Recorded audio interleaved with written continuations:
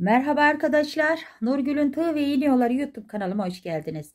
Eğer kanalıma abone değilseniz abone olmayı, emeklerim için de beğeni ve yorum yaparak bana destek olmayı unutmayın.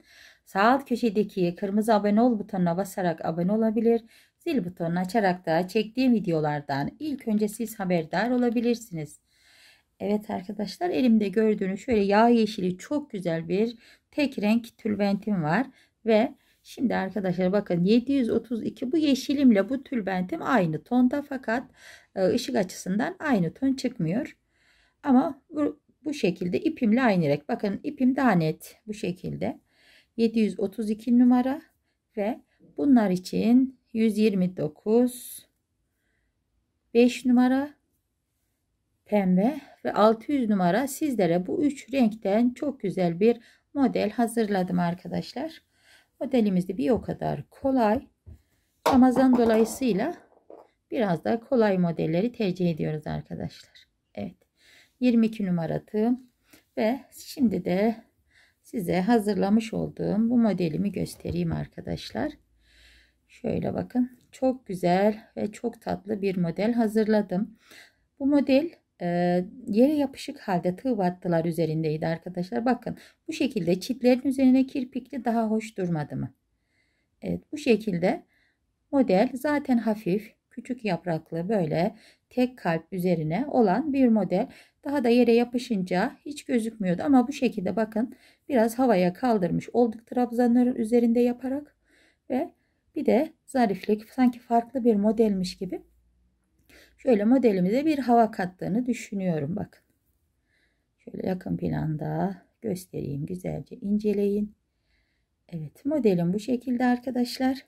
Şimdi modelimizin anlatım kısmına geçelim. Tülbentimizin kenar tığlama işlemini yapıyoruz. Şöyle iki tane çiçeğimin arasına 10 tane kirpikli trabzan bıraktım. İsterseniz sık iğne ile de başlayabilirsiniz veyahut da direkt trabzan yaparak başlayabilirsiniz. Bakın burada 9 tane daha önce sizler için hazırladım arkadaşlar. Şimdi bir tane de beraber yapıp ona tamamlayacağız. Şöyle bir zincirimizi çekerek başlıyoruz. İlk başlar gibi başlıyoruz. Bir defa tığımı doladım. Hemen boş olan tığ battıya giriyorum. Şöyle 2 2 alarak bir trabzan. 1 2 3 4 zincir kapatıyorum. 4 zincirimi buraya bir tane kirpik oluşturdum. Bir zincir çekiyorum. Bir defa doladım. Hemen yandaki tığ battıya girip 2 2 alarak boş bir trabzan yaptım. Bir zincir bir defa dola. Hemen 2 ve 2 alarak trabzan yaptım. 1 2 3 4 zincir. Kapatıyorum bu şekilde. Bir zincir bir defa doladım. Ve 2 2 alarak bakın Kenarında bir boş ortada 4 kirpikli bir trabzan yaptım ve 8 tane zincir çekiyorum. 3, 4, 5, 6, 7 ve 8. Çevirdim 8 zincirimi. Boş olan buradaki trabzanımın içine sıkı iğne ile sabitliyorum. Bakın bu şekilde. Şimdi buraya bir tane 10 zincirden yuva yaptık. 2 zincirimi çekip şöyle düz tarafına döndüm. Yaprak yapımına başlıyoruz. Bir defa tığımı doladım. Yuvaya giriyorum. 2 ve 2. 2 defa doladım. Her e, trabzanda bir dolama artıracağım. Ve yuvaya girdim. Bakın sıkı sıkı da hiç arasında boşluk kalmadan bu şekilde trabzanlarımı çekiyorum. 3 defa tığımı doladım ve yuvaya giriyorum. 2 2 2 ve 2 Bakın, bu şekilde 4 tane trabzan yaptım. 3 defa tığımı doladım. Yuvaya girdim. 1 2 2 2 ve 2 bakın 5 tane trabzanımız oldu bu şekilde.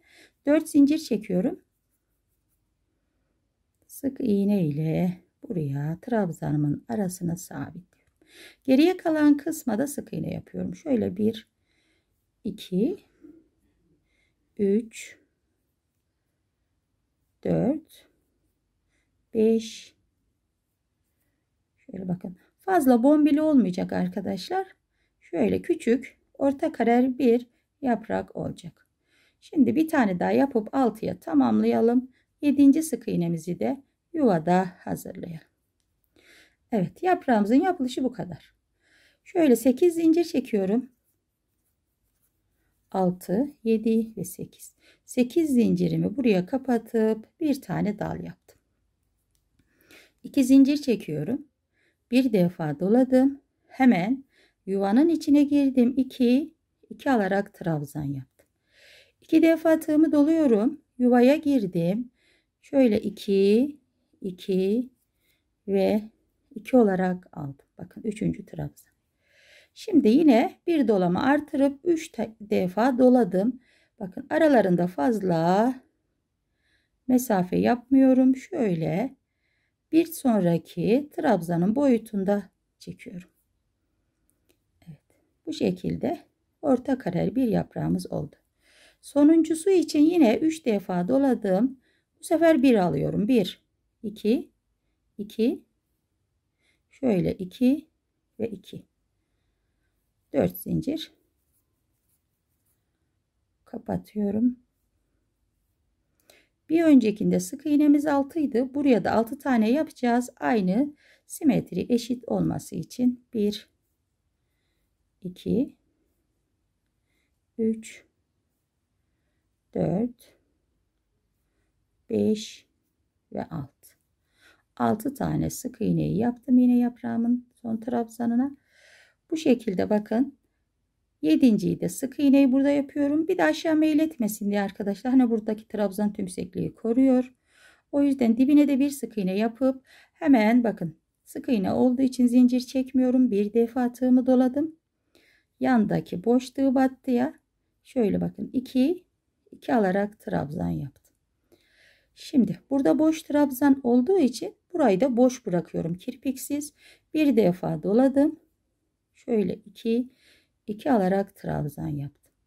4 zincir kapattım buraya. Bir zincir çektim. Bir defa doladım. Yuvaya girdim. 2 2. 10 tane yapacağım. Şöyle kapatıyorum. Araya bir zincir, bir defa doladım. Tığ battının içine girip 2 2 olarak aldım. 4 zincir. Bir zincir bir defa doladım.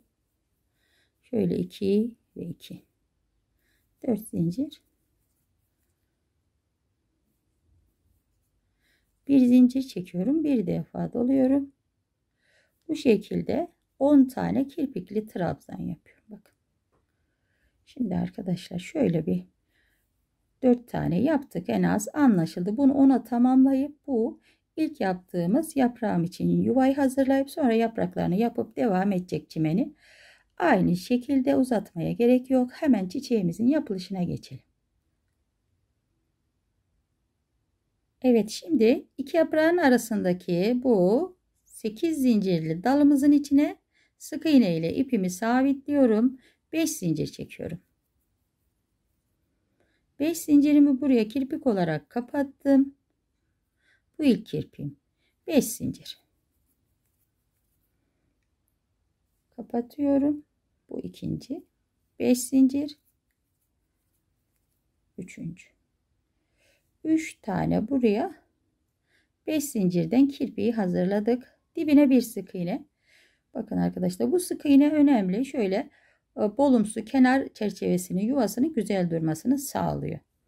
Şimdi 12 tane zincir çekiyorum. 3, 4, 5, 6, 7, 8, 9, 10, 11 ve 12. 12 zincirimi çekiyorum.